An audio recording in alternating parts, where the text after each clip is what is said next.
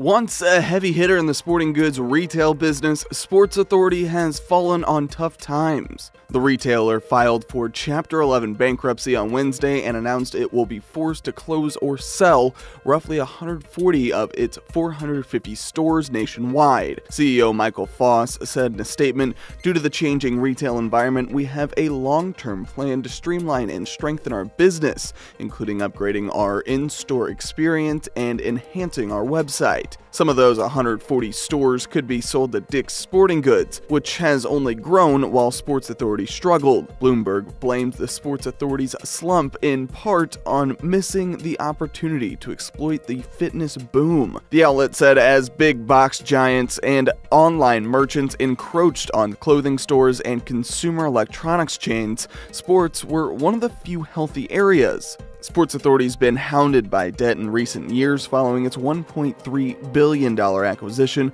by private equity firm Leonard Green and Partners. The bankruptcy filing isn't a total shock since the Englewood, Colorado-based company missed a $20 million interest payment in January. Reports indicated then that a bankruptcy filing in March was possible. For Newsy, I'm Matt Moreno.